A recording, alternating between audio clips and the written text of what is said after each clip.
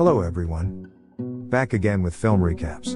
In this video, I'm going to recap one of the horror thriller films from 2018, titled Primal Rage. Before we get to the storyline, I'd like to wish everyone a happy and great day. Without further ado, let's get straight to the storyline. The movie opens with a beautiful woman named Ashley arriving outside a prison. She is here to pick up her husband, Maxwell, who has just been exonerated. Once he gets inside the vehicle, the two start their long journey back home. Ashley appears to be mad at him for his past actions, but Maxwell eventually wins her over with his charm and quirky jokes. This arouses Ashley, and she ends up having intercourse with him in the backseat. Later, they pull over at a gas station, and Maxwell goes inside the store to get some food. There, we see the local sheriff with a missing persons poster, but the shop owner claims that it is the doing of the mythical Bigfoot. The sheriff obviously doesn't believe in this, and there are several other posters on the wall, indicating that a lot of people have gone missing in the recent months. When Maxwell comes out of the store, a bunch of locals greet him with hostility. They call him a convict, and make derogatory gestures at him. Nonetheless, Maxwell doesn't react and he simply gets into the car. The couple then resumes their journey, and they soon arrive in the middle of a dense forest. To cool himself off, Maxwell whips out a can of beer. But as the couple is arguing over him starting to drink again, the car suddenly hits someone. They nervously go outside to check, only to find a mutilated and bloodied man. Maxwell feels sorry for the guy, but he believes their car didn't do all this. Meanwhile, we learn that someone is keeping an eye on the couple. Ashley decides to inform the cops about the situation, but Maxwell tries to stop her, claiming they might get into trouble. Despite this, she calls the nearest police station and urges them to come right away. At this moment, Maxwell spots something creepy in the woods, but then someone starts throwing stones at him. As he tries to peek, he is hit in the face by a large rock, sending him tumbling down a slope, and he eventually falls into the nearby river. Ashley quickly goes after her husband and spots him lifeless in the water. This prompts her to jump into the dangerous river. She manages to grab him, but the job is only half done as the currents are too strong. Nonetheless, Ashley somehow manages to navigate through the waves, until she reaches the shore with her husband. She then frantically performs CPR on him, bringing him back to life. Maxwell is disoriented by the knock, and he doesn't know how he ended up here. Back on the road, we catch a glimpse of the perpetrator, which is a gigantic hairy being. He single handedly pushes the couple's stranded vehicle down the slope, and drags the mutilated corpse away. At the police station, the local sheriff talks to his deputy about the recent missing cases, and mentions the Bigfoot stories he's been hearing from people. The deputy, who turns out to be a Native American, claims that the stories might be true, and in their community, they have named the beast as Oh-Mah. However, the sheriff doesn't believe in supernatural stuff. He is then informed about the distress call received from the woods earlier, so he goes to the location to investigate. Back at the river shore, Maxwell's condition has still not improved. But fortunately, Ashley finds a lighter in his pocket, and uses it to light a small fire. She then removes her clothes and sticks to her husband, after which his condition finally begins to improve. Up on the road, the sheriff arrives and begins his investigation. He finds no one around, but when he looks down the slope, he spots the overturned car. After concluding his search, the sheriff calls his deputy and requests for urgent backup. The scene then cuts to the night, where the sheriff learns that the damaged car's driver is Ashley, and that her husband is a convict. Down at the riverside, the couple decides to spend the night here, and they'll look for help in the morning. When the sun rises, Maxwell has completely recovered from his injuries, but Ashley finds that her clothes, which were just lying on the ground, have gone missing. Maxwell doesn't remember taking it, and he simply gives her his tank top to cover her body. Before they begin their journey, Ashley goes to take a leak, while the Bigfoot lurks right behind her, watching her pervertedly. He then scoops up the mud containing her urine and smells it. Following this, the couple decides to follow the river until they reach the road. But it's not going to be an easy job at all, because the terrain is very harsh. Later, we see them deep in the forest. Wherever they go, the Bigfoot is keeping an eye on them from a distance, and we even get to see his face. After a bit of wandering around, the couple hears some men chattering nearby. Ashley immediately recognizes them as the same troublemakers from the gas station. Turns out they've come here on a hunting expedition. Maxwell knows that they're bad people, but he has no choice but to approach them for help.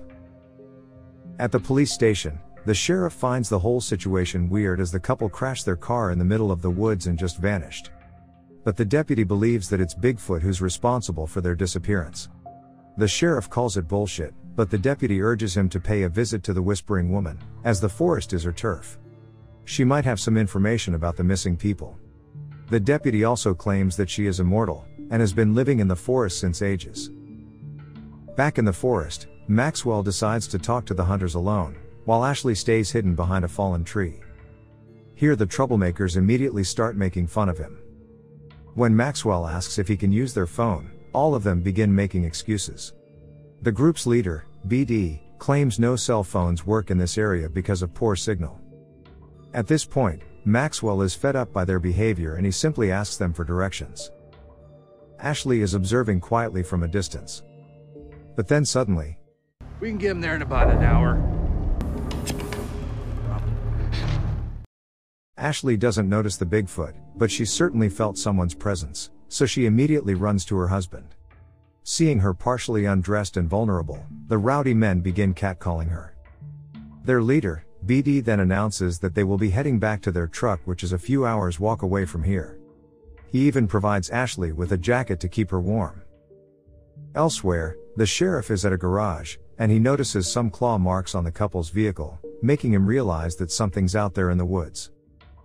Afterwards, the deputy reveals that an elderly Native American woman has been diagnosed with cancer, so the tribe is holding a traditional healing ceremony for her. The deputy suggests that they go and attend it for some enlightenment. Meanwhile, the couple and the hunters are still walking through the deep forest. Bigfoot is closely observing them from the sidelines, while BD and his boys continue tormenting and making fun of Maxwell's convict status.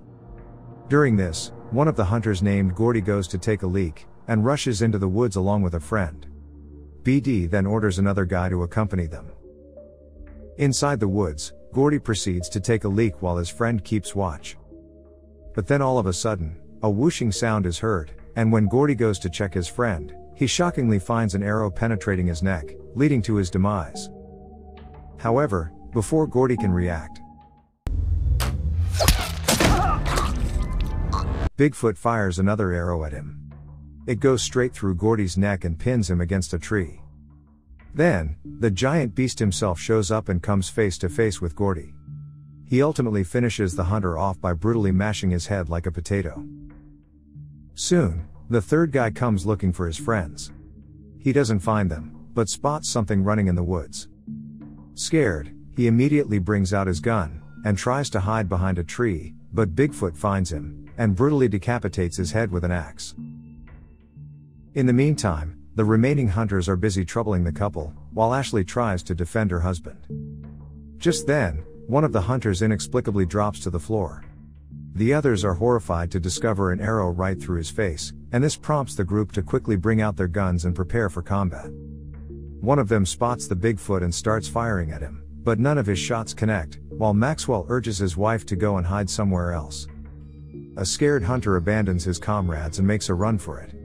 Unfortunately, the only hunter who has seen the Bigfoot ends up firing at his own friend. Here Bigfoot finally shows up and slits the armed hunter's throat. Ashley then returns to check on her knocked out husband, but this turns out to be a costly mistake. The creature goes after her and chases her through the forest. At one point, she hides in a ditch, where coincidentally the coward hunter is also hiding. Bigfoot eventually finds them, and he tears off the poor man's face. Up next, Ashley still tries to run away, but Bigfoot manages to catch her using his classic arrow, and take her with him. While returning, Bigfoot spots the unconscious Maxwell and prepares to finish him off. But before he can do so, he is shot in the arm by BD who is still alive.